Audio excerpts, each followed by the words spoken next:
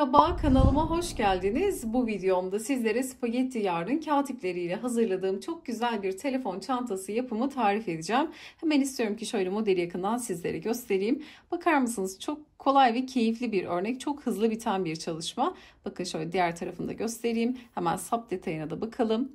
Gerçekten çok keyifli ilerliyor. Böyle çabucak bitirebileceğiniz güzel bir proje oldu. Hemen şöyle iç kısmında göstermek istiyorum. Telefonumuzun sığacağı kadar. Telefon çantası olduğu için az kısmında çıt çıt ya da bir kapatma vesaire yok. Ama sizler isterseniz ekleyebilirsiniz.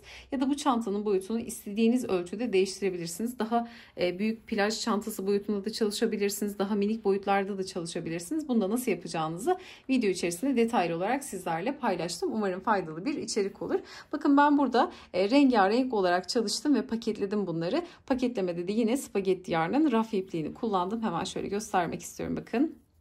Bu şekilde şöyle olacak.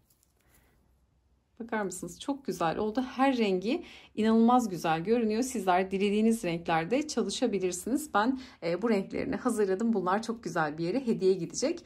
E, umarım keyifle kullanırlar. Detaylı tarifimize geçmeden önce de sizlerden küçük de bir ricada bulunmak istiyorum. Kanalımıza ücretsiz abone olabilir. Videoyu beğenir ve yorumlarınızı eksik etmezseniz gerçekten çok mutlu olurum. Tarifimize geçelim. Çantam için spagetti yarın kağıt ipinden kullandım. Zannediyorum bir yumaktan en az 3 tane böyle bir çantayı çok rahatlıkla çıkartabilirsiniz. İstiyorum ki hemen şöyle ipin özelliğini sizlerle paylaşayım. Karışımı %100 kağıt, ağırlığı 130-150 gram aralığında 250 metre uzunluğunda. Bakın dokusu yakından bu şekilde yumak haline direkt örmeye başlıyoruz. Ee, çok güzel bir dokusu var. Mutlaka spagetti yarının kağıt ipiyle tanışmanızı tavsiye ediyorum. Ee, bu arada abonelerim özel spagetti yarından güzel bir indirim haberi paylaşmak istiyorum. spagettiyar.com adresinden yapacağınız 300 TL ve üzeri alışverişlerde kullanabileceğiniz Gulcan 10 koduyla alışverişinizi %10 indirimli olarak tamamlayabilirsiniz. Bu güzel indirim için de Spagetti Yarn ailesine çok teşekkür ediyorum. Spagetti Yarn'ın kağıt ipliğini şöyle açık olarak da göstermek istiyorum. Dokusu bu şekilde. Tığ numaram da 3 milim olacak. Sizler kendi ipinizin inceliğine, kalınlığına göre örmenizin sıklığına, gevşekliğine göre kendi tığ numaranızı belirleyebilirsiniz. Burada önce şöyle modeli göstermek istiyorum. Bakın modeli zincir, zincir üzerine bir sıra sık iğne ördükten sonra kuruyoruz. Modelimiz üçün katlarından oluşuyor. Sizler bu çantayı daha büyük daha küçük yapmak isterseniz eğer e, burada zincirlerimizi üçün katları şeklinde ayarlamamız gerekiyor. Çünkü burada modelimiz üçün katlarından oluşuyor.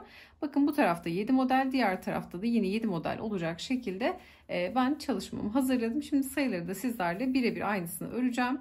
Burada hemen başlıyoruz. Bakın şöyle bir zincirle bir ilmek oluşturuyorum. Zincirden sonra 1, 2, 3 zincir. 1, 2, 3 zincir. Bu şekilde sayabilirsiniz. İstediğiniz uzunluğa gelene kadar üçün katları şeklinde zincirlerinizi hazırlayabilirsiniz. Üçün katları artı bir şeklinde zincirlerimizi hazırlıyoruz.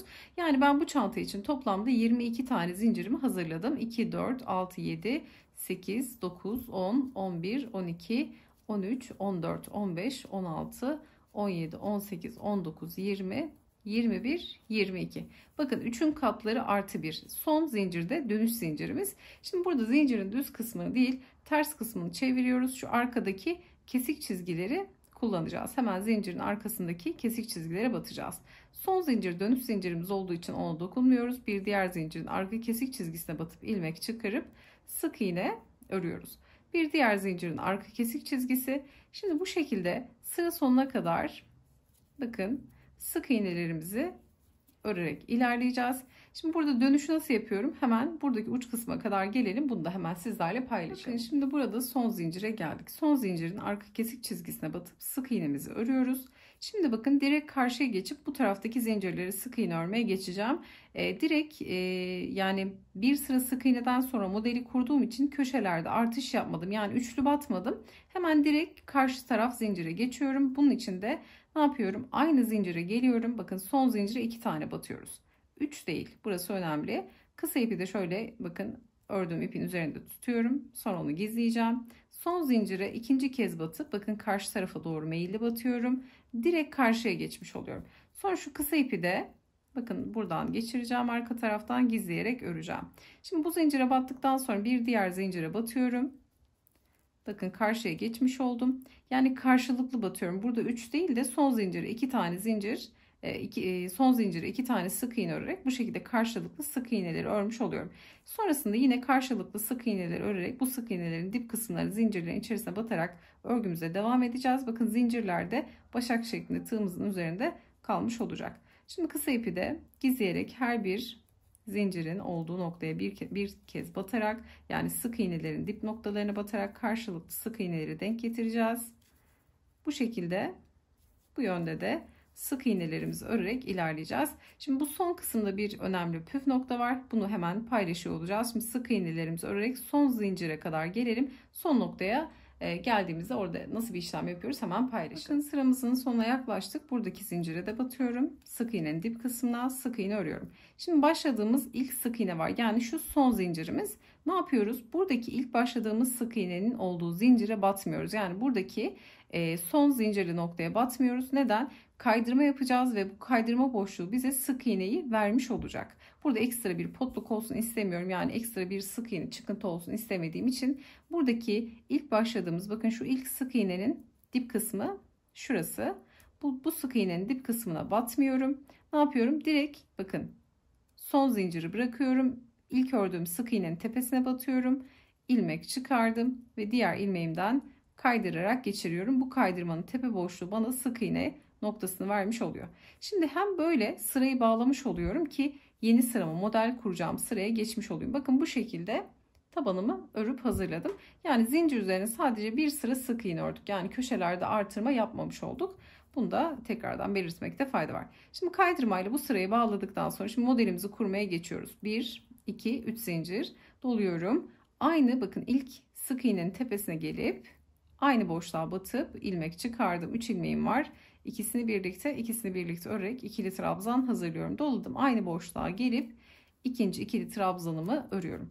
Baştaki 3 zincirde bir trabzan kabul ediyoruz. 1 2 3 tane trabzanı bu şekilde oluşturduk. Arada hiç zincir vesaire yok. Direkt doluyoruz tığımızın başına.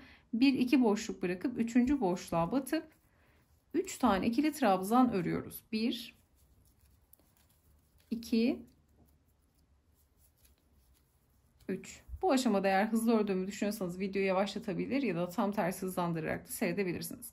Zincir yok direkt doluyoruz. 1 2 boşluk bırakıp 3. boşluğa batarak 3 tane ikili trabzan örüyoruz. 1 2 ve 3 doluyorum. 1 2 3. boşluğa.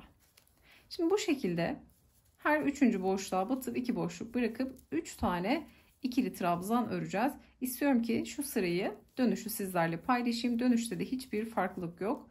Burada önemli olan 3'ün katları şeklinde sık iğne sayımızı elde etmek. Model 3'ün katlarından oluşuyor. İstediğiniz boyutlarda zincirinizi fazla fazla çekip 3'ün katları olacak şekilde yani sık iğne sayınızı 3'ün katları şeklinde elde edecek şekilde modelinizi oturtabilirsiniz.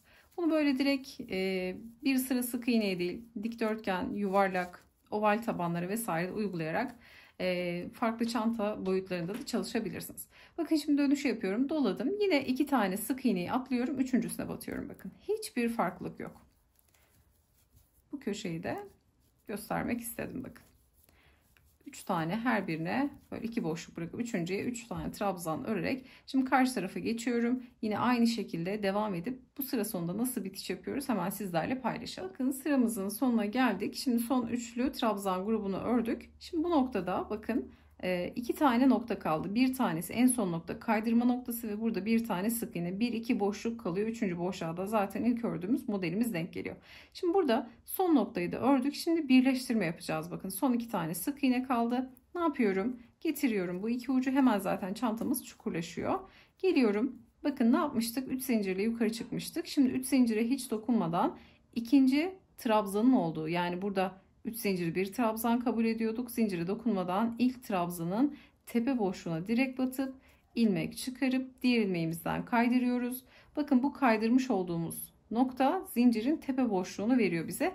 E, ve burada ikinci e, trabzana geçmiş oluyoruz. Zaten modelimizi hep ikinci trabzana çalışacağımız için ilk kaydırma ile beraber ikinci trabzana geçmiş oluyoruz. Şimdi işimiz daha kolay. 3 zincirle yukarı çıkıp aynı boşluğa 2 tane ikili trabzan örüyoruz. Bakın baştaki yaptığımız modeli birebir aynen oluşturmuş olduk. 3 tane trabzanı bu şekilde hazırladık. Zincir ve iki tane trabzanla 3 trabzan elde ettik. Direkt doluyoruz yine.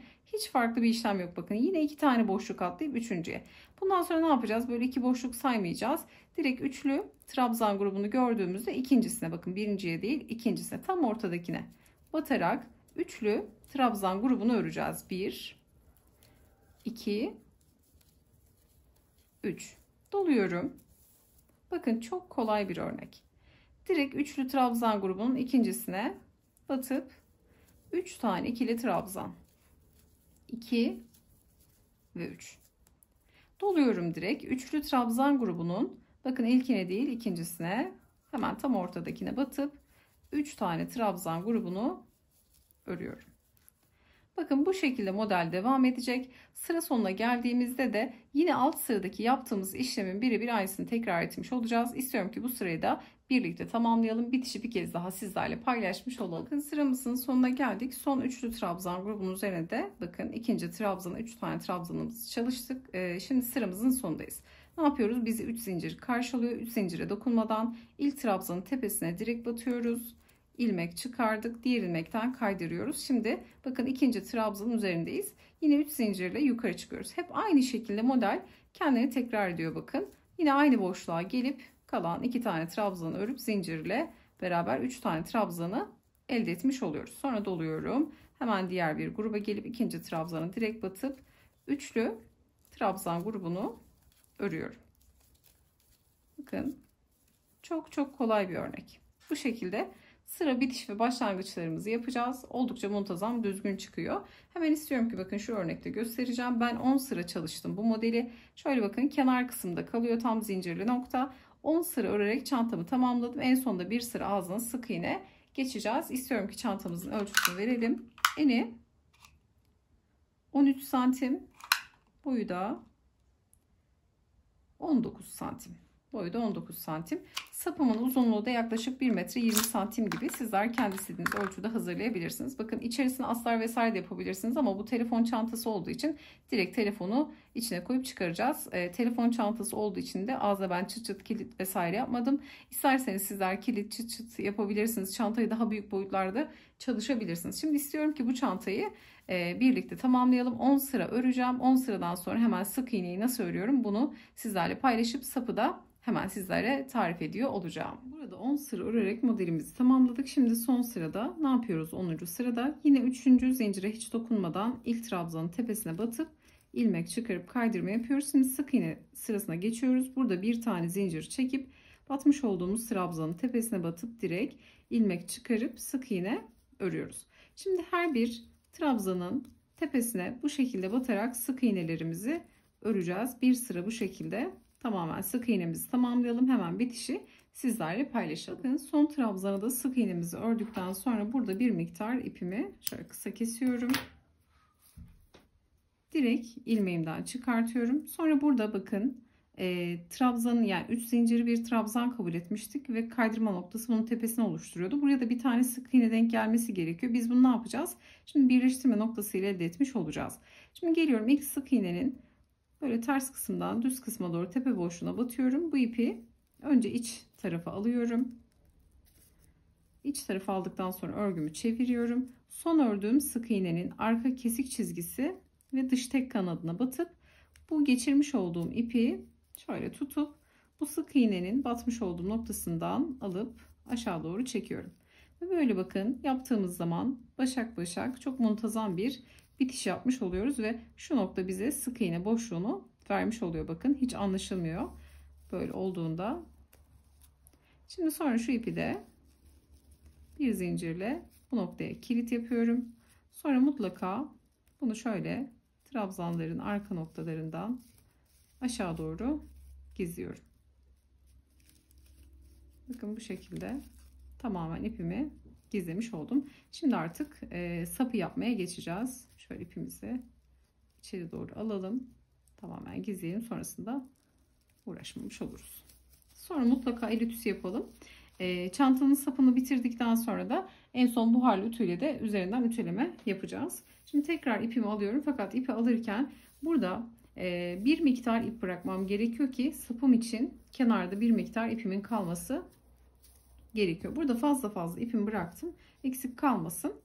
Şimdi şöyle çantanın tam kenar kısmından bakın şu kenar modeli şöyle elime düzlediğim zaman da bunu rahatlıkla görüyorum. Tam uç kısımda kalan model bakın bunun üçlü trabzanın ikinci trabzanın üzerindeki sık iğneye batıyorum. İkiye bakın burada biriktirdim ipimi. İpimi şöyle tam ortadan alıyorum ve battım. Şu boşluktan geçireceğim bakın. Battığım boşluktan geçiriyorum.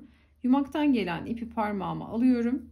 Diğer ipi de bakın tutuyorum bu noktada. Hemen batmış olduğum sık iğnenin tepesinin dibine de batıyorum. Yumaktan gelen ipimle buradan ilmek çıkarıyorum. Şimdi iki ilmek oldu. Bir de bakın şurada bıraktığım uzun ilmek var. Bu ipi alıyorum. Bir sefer şöyle tığımın üzerine doluyorum. Şimdi 3 tane ilmek oldu. Yumaktan gelen ipimi doluyorum. Bu 3 ilmeği kapatıyorum. Sonra diğer bakın kenara bıraktığım ipi şöyle bakın bunlar e, kısa bıraktığım ipler. Bunu bir kez böyle tığımıza dolayacağız. Sonra yumaktan gelen ipi tığımızın başına dolayarak sık iğne şeklinde öreceğiz. Bir sefer ilmeği bakın ipi tığımıza dolayarak iki ilmeği kapatacağız. Doluyoruz ve kapatıyoruz. Bu zincir yöntemi bakın bu şekilde yaptığımızda özellikle bu tarz minik çantalar için, telefon çantaları için oldukça uygun bir sap oluyor bu bakın. Çok keyifli yapması da çok da çabuk bitiyor. Bakın pratik bir yöntem. Bu şekilde sapımızı oluşturacağız. Bir sefer tığımıza ipimizi doluyoruz. Kenarda bıraktığımız ipi sonra ilmeği kapatıyoruz. Doluyoruz. iki ilmek oluşuyor. ilmeği kapatıyoruz. Bu kadar keyifli bir yöntem. Şimdi bunu e, yaklaşık 1 metre 20 santim kadar uzatacağım. Sonra bu tarafa nasıl bağlıyoruz hemen sizlerle hızlı bir şekilde paylaşacağım. Burada istediğim uzunluğa gelene kadar bakın sapımı uzattım. Burada artık bitireceğim. Ne yapıyorum? Burada biraz kısa ipim kaldı. Şimdi bu iki ipi şöyle bir miktar kesiyorum bakın. Diğer ipimden zaten çok kalmadı. Şimdi ipimi de kestikten sonra ilmeğimden bakın ipi bu şekilde çıkartıyorum. Sonra şu ucu şöyle düzgün bir şekilde bularak buradaki kesmiş olduğumuz uzun iple çantamızın diğer ucuna sapımızı bakın monte ediyoruz. Yine kenarda kalan ikinci trabzanın sık iğnesinin boşluğuna batıyorum. İpi şöyle tığ yardımıyla içeri alıp bir alt noktadan geçiriyorum. Hemen sık iğnenin tepesine battık. Sonra dibinden geçiriyorum. Burada bakın sapın olduğu zincirli boşluğa batıyorum. İpi önce saptan geçiriyorum şimdi.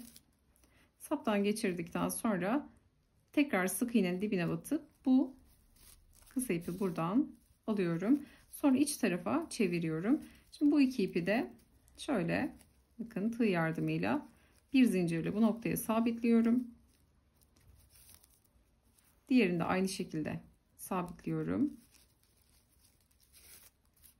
Sabitledikten sonra bu kısa iki ipi şöyle sık iğnelerin tepe noktalarından bakın arka kısımda kalan geniş boşluklarından tığ yardımıyla batıyorum. Sonra bu iki ipin ucunu bu aşamada daha küçük numaralı bir tığ kullanabilirsiniz battığım noktadan bakın ipimi geçiriyorum. Kağıt zaten hemen kalıp gibi duruyor. Ve burada ipi fazla ipi de çıkartıyorum. Bakın sonra bakın bitirdik çantamızı güzelce dış kısmından ve sapları da ben ütülüyorum yumuşasın diye bir miktar. Ee, güzelce ütüleyerek bakın bu formu almış oluyor çantamız. Şöyle göstermek istiyorum. Süslemelerini de ben tamamladım. Bakın 10 11 e, farklı renk çalıştım ben burada. Bu sapları e, süslemek için de böyle bağlamak için de e, yine spagetti yarnı raf ipliğini kullandım. Çok güzel oldular. Bakar mısınız rengarenk. Böyle hediye etmek için çok güzel bir çalışma oldu. Evdeki artan iplerinizi dahi kullanabilirsiniz bu proje için. Artan kağıt iplerinizde böyle mini telefon çantaları hazırlayabilirsiniz. Gerçekten keyif alarak çalıştım. Umarım sizler de beğenir ve denersiniz. Yapacak olanlara şimdiden kolaylıklar diliyorum. Videomuzu beğenmeyi, yorum bırakmayı, kanalımıza abone olmayı unutmayın. Bir sonraki videoda görüşünceye dek hoşçakalın.